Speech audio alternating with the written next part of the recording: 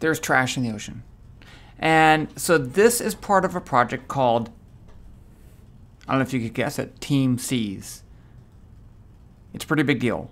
And if you remember a couple years ago, there was a Team Trees project, uh, which was to raise money to plant trees. This is similar, but except for the sea.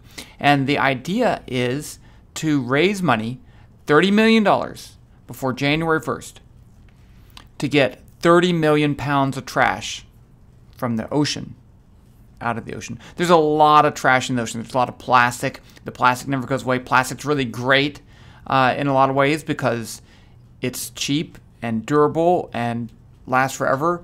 But it's bad because it's cheap, so it's there's a lot of it, and it's durable, so it never goes away. And that's one of the problems. But the other trash too, and it's not just the ocean because everything that's in the rivers ends up in the ocean, the beaches too. So this is $30 million to get 30 million pounds of trash out of the ocean. And so if you want to contribute, you can go to teamseas.org and donate to get to raise $30 million. Um, and so it's 30 million pounds. Actually, this is backwards. Look at that. It's $30 million for pounds, which is weird because pounds is, okay. Uh, and so all this money, 100% goes to these two uh, groups, the Ocean Conservancy and the Ocean Cleanup. And the idea is every dollar removes one pound of trash. But now what am I going to do? I want to use this as an opportunity to do a back of the, the envelope calculation. And I'm going to make some estimations and try to see if you did take 30 million pounds of trash out of the ocean and the beaches and the rivers, and you made a big pile of it, what would that pile look like? I don't know. I don't even know the answer. So we're just going to do this off the top of my top of my head. Uh, now I am going to look up a couple things. Um, I'm going to make some estimations, but but that's what we do in a numer in a in a back of the envelope calculation. That's what makes it so great. Um, a true back of the uh, envelope calculation, I would just completely guess stuff, but I'm going to look some things up. So let's start with uh, the mass of trash, which is actually a weight, but that's fine. Mass T equals 30 times 10 to the sixth pounds. Now, I don't want to deal with pounds, but it's, it's okay. Um, you know, one of the things is if I want to see if it's piled up, I need to know the density of trash. So density is going to be the mass divided by the volume. Uh, and, and you know, I could just go with plastic. I could just use a rough estimate of, let's call this rho. Rho, yeah, they only have one density.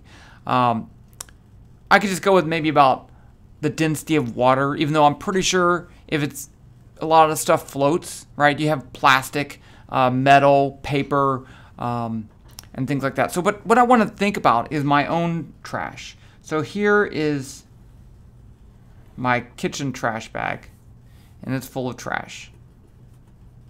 And so, if this is a sphere, it's not, then it has a radius of let's say you know the the diameter would maybe be be about about that much. I'm just I'm thinking I'm thinking 20 centimeters. So let's say r equals uh, 0.2 meters.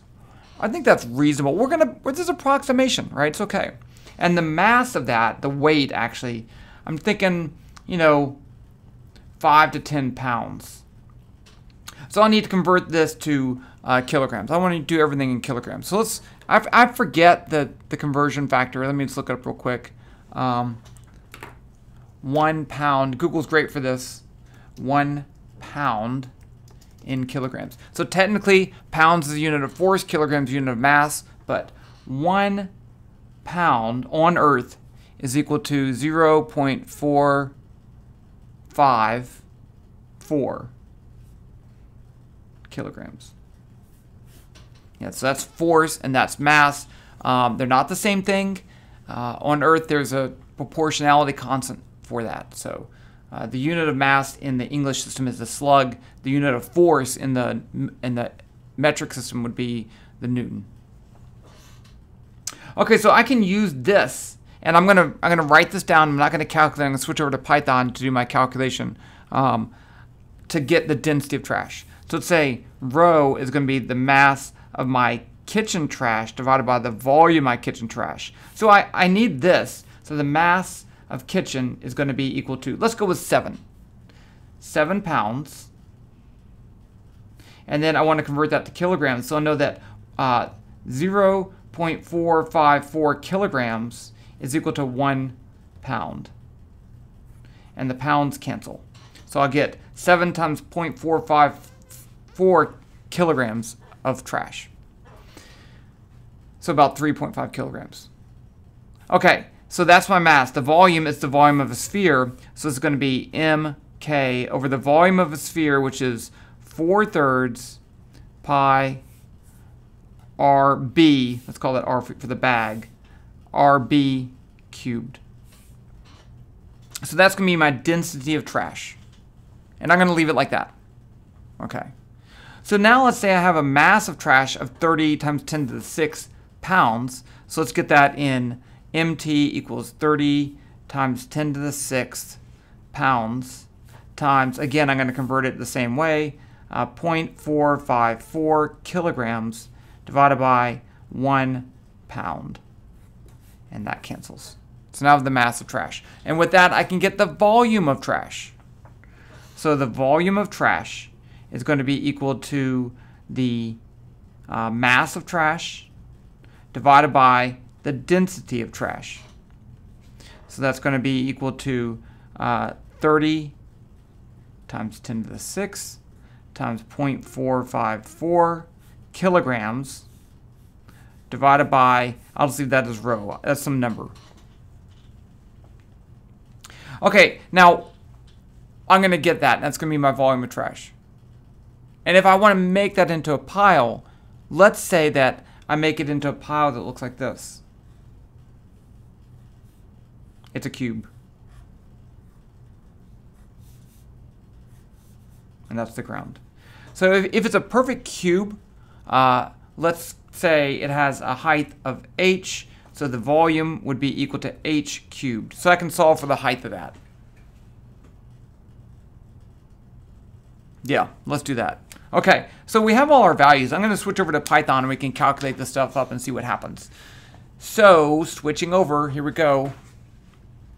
Uh, this is, uh, if you're not familiar with GlowScript, this is GlowScript. It's a uh, online implementation of Python uh, so that we can do it right in the web page. So let's just start putting in our constants here. I'm going to write down uh, the mass of trash, uh, MT, I'll use, I'll use capital M, MT equals 30 times 10 to the 6. And I'm going to go ahead and multiply that by 0.454, and that's going to give me my uh, mass in kilograms. I'm going to put a comment there as a kilogram. Okay, now I'm going to say the mass of my kitchen, MK, kitchen trash, is, what did I say, 7 times 0.454 kilograms. Uh, the density of trash, I'll just call that rho, is going to be MK divided by 4 thirds.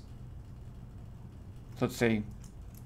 Let's just say 3 times MK divided by 4 times pi times, oh, I need that up here. RB equals 0.2 meters. RB cubed. And I want to go ahead and print this out because I want to know if I get a reasonable value for that. So let's print uh, density of trash rho. And let's put the units, kilograms per cubic meter. And I'll give you the code for this if you want. Okay. Ooh. That is not good. That's very low right? I was thinking it'd be, you know, the density of water is a thousand kilograms per cubic meter, and this is way less than that. Um, maybe I overestimated my my my size. So let's see. If I have a trash bag of that wide, that's 50 centimeters.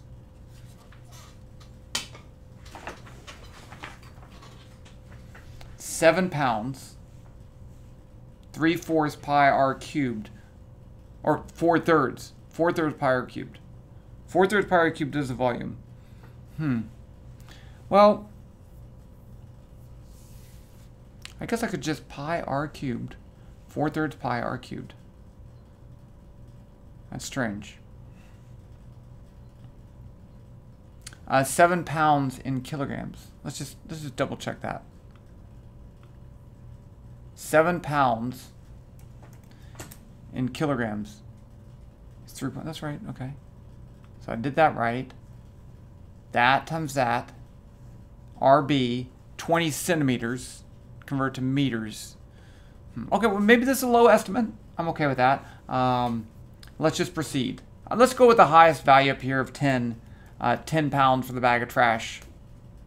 And then, okay, I, I, feel, I feel, I'm feeling better. I think that's okay. One, and that would, so you took, let's imagine if you took that bag and you dropped it in the water, would it float if it didn't leak? Yeah, it should float very, very easily. And, and that's true. I mean, we've got a lot of papers, styrofoam, plastics, and stuff like that. So I think it's, I think it's okay. Okay, what are we going to calculate next? Um, I need the volume of trash. That's all I need to do. So I can say volume, capital V, T, is going to be equal to the mass of the trash divided by rho. Print, I don't really need that either. I can calculate H equals uh, VT to the one-third power. Print uh, height of trash cube. H meters. Let's see what happens. So 46 meters, that's not that big. Well, I mean 46 meters for 30 million pounds. Yeah, yeah, I think I think we like to think of uh, that's a lot of trash. 46 meters, so 200 feet tall cube of trash out of the ocean. Now, but here's the problem. Let's say this trash floats, because my trash floats, and I spread it over the ocean. Uh, what would the, the trash density, mass density, surf, linear surface area density of trash be on the surface of the earth? So let me switch back over to the paper here. Okay, so I have some trash. I have 30 million pounds of trash. Um, well, I have a volume of trash. But I need to spread I need to spread it I need to spread it in terms of mass because I can't I can't use my calculated volume to find unless I pick a thickness. If I pick a thickness, then I can do volume to volume. I can't do volume to surface area. Let's do that. Let's say that all this trash is within um, the top five centimeters. Okay, so here we have this. This is the Earth, R, uh, and then I have a volume of trash of, what did I count? I didn't calculate that. Let's just say it's some volume of trash. Now I want to spread that trash uniformly over the surface of the earth. And I want to calculate how much trash per cubic meter, what the density of trash would be, the trash density. Uh, of course, this is spread over the oceans. So the oceans, I think, is 80%.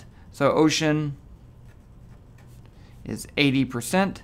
Let me look that up real quick percent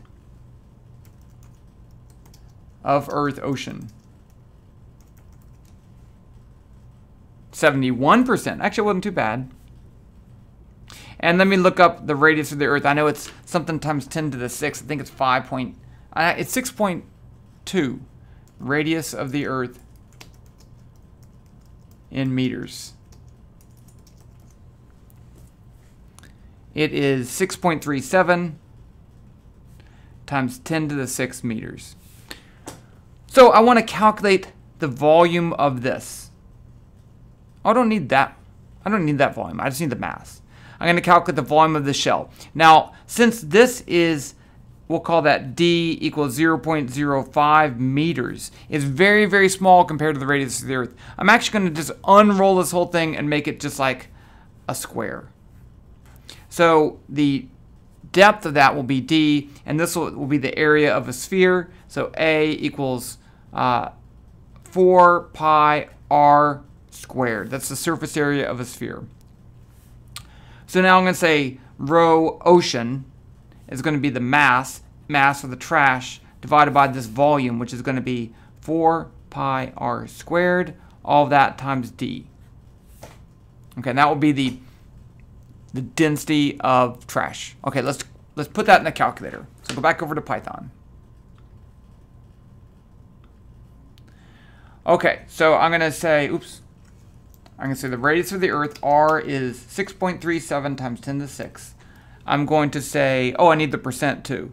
Uh, PO is a percent of ocean is 0.71. And because I need to multiply that by my volume of the surface of the Earth. So rho O, that's the density of trash in the ocean, the top percent is going to be the mass of the trash. So MT, which I've already calculated, divided by uh, PO times 4 times pi